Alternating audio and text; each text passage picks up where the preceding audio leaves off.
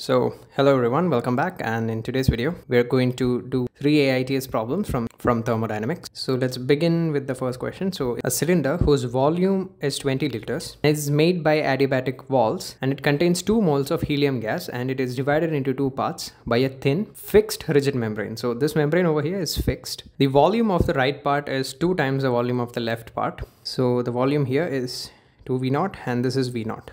Okay. And an electric heater of constant power installed in the left part is switched on. Heat transfer rate through the membrane is H, which is 0.3 watts per 1 degree centigrade temperature difference across the membrane. And initially the heater was switched off and both the parts were in thermal as well as me mechanical equilibrium. The membrane can withstand a maximum pressure difference of delta P equals 1000 pascals. Then we have to choose the correct option. Initially it is given to be in thermal equilibrium. The initial temperature is T naught on both sides and it is also given to be in mechanical equilibrium which means the initial pressure on both sides is also the same. Okay, so and uh, this is the initial situation and now the heater is turned on. What will happen is the temperature and pressure on the left chamber is going to increase. As a result of the temperature increasing, there will be heat transfer into the right section and whose magnitude we can easily write. So uh, let's say that heat transfer and by the way guys, it's heat transfer rate that is given to us. So I am gonna write it as Q dot meaning dQ by dt so Q dot, we can in one step write it as H multiplied by delta T, where delta T is the temperature difference between the section on the left and the section on the right. Okay, so mm, it's given to us that delta P has to be has to be less than a thousand pascals for the membrane to still be intact right? So we can get a feel that the pressure on the left chamber is going to be greater because its volume is smaller, right? So the gas molecules are close by, so they are colliding with each other much more frequently. So let's try to figure out P1 minus P2. So let's say the pressure on the left chamber is PL and the pressure on the right chamber is PR. So the difference of these two has to be less than or equal to a thousand pascals. So now the pressure on the left chamber I can write using the ideal gas equation nRT by V. Okay guys, now uh, how to find out the moles. So initially we know PV and T as uh, pressure and temperatures are same on both of the section. The volume on the right is double the volume on the left, which means the moles on the right is double the moles on the left. On the right side, it should be two thirds of the total number of moles, which is going to be four by three moles. And on the left chamber, it should be simply 2 by 3 moles and 2 by 3 plus 4 by 3 equals 2 moles. Okay, so the pressure on the left is the number of moles on the left, TL, which is the temperature at any general time, divided by the volume. And the volume, we took it as V naught, minus the pressure on the right is 4 by 3 R TR divided by 2 V naught. And this should be less than or equal to 1000 pascals. Okay guys, so now if you take uh, 2R by 3 to the other side and you know perform the calculations, V naught is given to us. So uh, the total volume is 20. So V naught plus 2 V naught is 20. So the value of V naught is 20 by 3 and liters we have to convert it into meter cube. And after doing that, you'll find that the max possible temperature difference between the two sections is actually 1.2 degrees Celsius. Okay guys, so now let's say the power of the electric heater is P and the heat transfer rate into the second container right section is Q dot. So now let's apply first law of thermodynamics on this boundary layer over here. So now the thing is we can consider the power dissipated from the filament as heat transfer into the system. So heat transfer coming in is nothing but the power of the filament, the heater multiplied by the time right because it's constant power minus now the heat leaving the system is q dot right now guys q dot isn't really constant so we have to write you know the heat leaving the system as integral of q dot dt okay? Now the reason for writing this again is because q dot is not constant. It is change is changing as the temperature difference changes okay? This would be equal to the change in inter internal energy of the left gas which is going to be n r delta t and final temperature is tl initial temperature is t naught. So and obviously the limits of time is from 0 to t. So now let's apply first law for the right boundary layer. L right boundary layer the only heat transfer coming in is q dot. So this is going to be q dot dt from 0 to t. And this would be equal to the change in internal energy of the gas on the right which is n tr minus t naught. So now what i'm going to do is divide both sides by i can subtract this so that i can subtract these two and cancel out the t naughts. So this just becomes pt minus 3 by 2 integral q dot dt from 0 to t. And on the right side, it just becomes 2r by 3. Okay, so this is the final equation that we're getting. So we can also write this as delta T. So basically again guys, Q dot is going to increase with time. Why? Because the temperature difference delta T, which is TL minus TR is going to increase with time. So what's going to happen is this term over here, this will increase with time. And after some point, when these two terms, okay, so and when steady state will be achieved, so the RHS is going to be constant, which means the LHS should also be a constant. So now if the LHS is a constant, so if I name this as some function y, then dy by dt has to be zero right because the left side is a constant so which basically means p minus 3 by 2 now guys, the way you differentiate this thing is you differentiate the upper limit, uh, which comes out to be 1. And then you just put q dot over here, right? And the lower limit's derivative will give you the 0 as answer. So this has to be equal to 0. So which essentially means the power has to be 3 by 2 q dot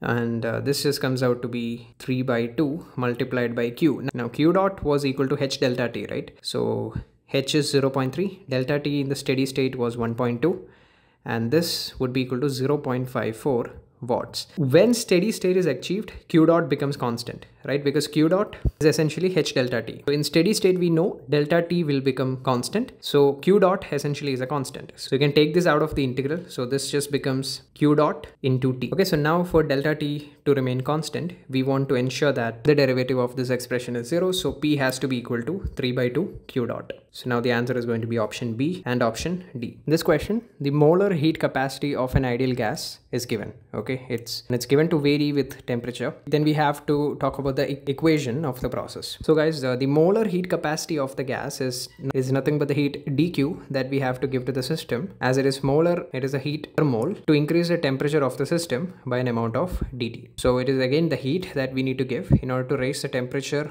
of one mole of a gas by an amount of dt. So from here we can get dq as. So now we can simply use first law because uh, we uh, with first law we can relate c to cv, right? So if I write down first law of thermodynamics, it will be dq equals du plus dw and uh, dq I can write it as nc dt and du is nothing but ncv dt. So this is the reason for writing this because we can see that C minus CV is coming from both of these and dW is nothing but gas pressure multiplied by dV. So the process equation they want it in terms of volume and temperature. So so let's get rid of the pressure. For that we can use ideal gas equation that is PV equals nRT. So P gas I can write it as nRT by V. So now the N gets cancelled out and guys C minus CV I can get it from here. So C minus CV comes out to be alpha t squared. So now we can solve this indefinite integral. So this is going to be alpha t square by 2 on the left side and on the right side it's going to be r ln v. I'm gonna and instead of writing plus c I'm gonna, just gonna do ln v by v naught. Uh, what we obtain is v equals v naught e to the power alpha t square divided by 2r and the process equation just becomes v e to the power minus alpha t square divided by 2r equal to a constant which corresponds to option B. Okay guys, so now moving on to the last question. So we have a mole of diatomic gas that is made to undergo a quasi-static cyclic thermodynamic process. Okay, so during the process from A to B, the temperature is varying as kV square which means it's a parabola. During the whole cycle, the maximum pressure of the gas is two times of the minimum pressure. Now, if the gas absorbs 0.36 kilojoules of heat during the process from A to B. So let's write that down. So, so the heat absorbed in the process AB is going to be 0.36 kilojoules. And the question is how much heat does the gas liberate during the process B to C? So Q, so we have to figure out QBC and it's all it was also and it's also given that P max is equal to half of P min. Okay guys, so now uh, as we have to determine the work work done and stuff it'll be beneficial if we actually draw a PV diagram. Let's try to plot that. So let's start with point A the volume here, let's say it is V. A to B, the process is given to be T equals kV square. So we know that PV is equal to nRT. If you observe, if T is proportional to V square, one V cancels out on both sides and we get P is proportional to V. So P proportional to V is nothing but a straight line passing through the origin. So P proportional to V is nothing but a straight line that passes through the origin. So let's, so this is going to be the process. Okay. And this state, let's just name it as BB. Now we can clearly see that process P, process B to C is T proportional to V, right? Because it's a straight line that passes through the origin. So T equal to some constant times V is the process that goes from B to C. If T is proportional to V, then V cancels out on both sides and we get pressure is constant. So pressure constant meaning the process is isobaric. And from C to A, we can easily see the process is isochoric. So it'll be something like this. So, okay guys, so now we have determined the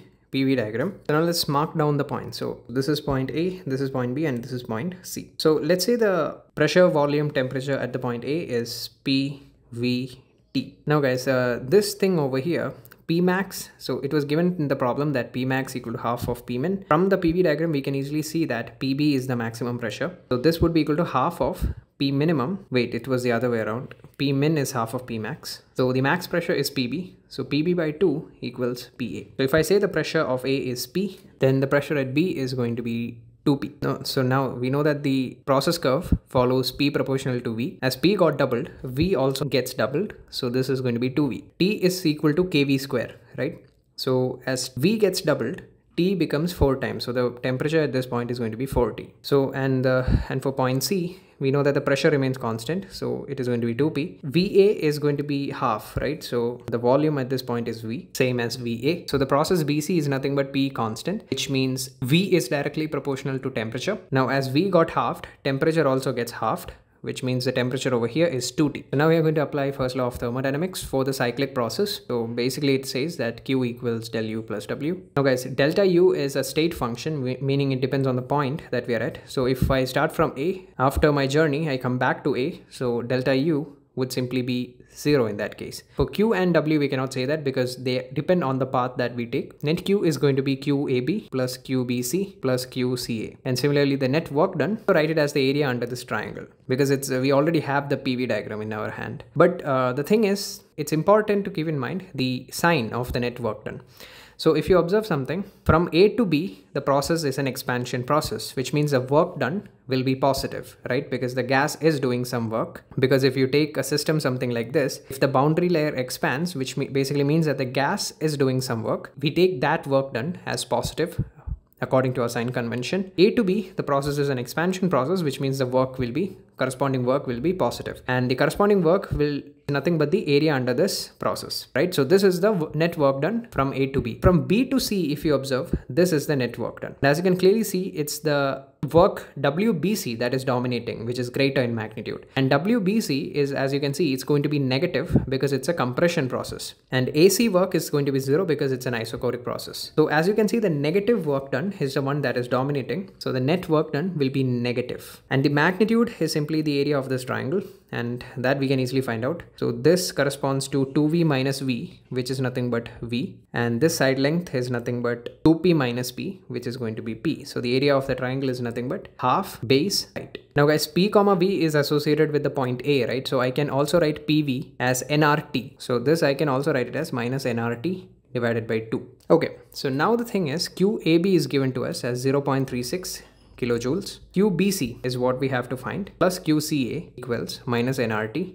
divided by 2. So we need the value of QCA. So CA is this process over here. It's an isochoric process. Let's write the first law for the process QCA. So the heat transfer is QCA. This is equal to delta U CA plus the work done. And the work done from C to A is uh, going to be zero because the gas because it's an isochoric process so w is simply zero. And now delta uc is, is going to be n cv ta minus tc now ta minus tc is going to be minus t ta minus tc is going to be minus t so the heat transfer from ca is going to be minus 5 by 2 nRT. And once you substitute the value of QCA into this equation, this is the expression that you get for QBC. So as you guys can see, now we have to determine the value of T in order to get the answer. And for that, we'll use the information that is provided to us over here. QAB is given to us as 0.36 kilojoules. So AB is this process over here. So QAB, I can write it as del UAB plus WAB. And del UAB is nothing but NCV, DB minus DA And WAB, now WAB guys, uh, uh, we don't have to integrate the process. Uh, we can simply use area under the curve. This is a trapezium so i can write its area as half distance between them which is going to be 2v minus v which is v multiplied by the sum of these two sides which is going to be p plus 2p which is 3p tb minus ta is going to be 3t and after substituting this will come out to be 15 by 2 nRT and this is going to be 3 by 2 PV and PV if you get, remember we can write it as nRT this is equal to 0.36 and from here we get the value of nRT as 0.36 divided by 9 which is 0.04 kilojoules. Okay so now we're going to put it over here. 0.04 multiplied by 2 is 0.08 subtract it with that minus 0.36 so it comes out to be minus 0.28 so the heat liberated by the gas in the process bz is 0.28 kilojoules. So that was it for this video guys. If you enjoyed the video do like share and subscribe to my channel. And that's it. Thanks for watching